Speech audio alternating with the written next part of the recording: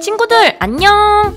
오늘 꿈이랑 함께할 말씀은 그리스도의 말씀이 너희 속에 풍성이 거하여 모든 지혜로 피차 가르치며 권면하고 골로새서 3장 16절 상반절 말씀.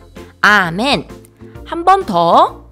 그리스도의 말씀이 너희 속에 풍성이 거하여 모든 지혜로 피차 가르치며 권면하고 골로새서 3장 16절 상반절 말씀 아멘 말씀이 친구들 마음속에서 풍성해지면 지혜롭게 모든 일을 헤쳐나갈 수 있을 거야. 내일 또 만나. 안녕.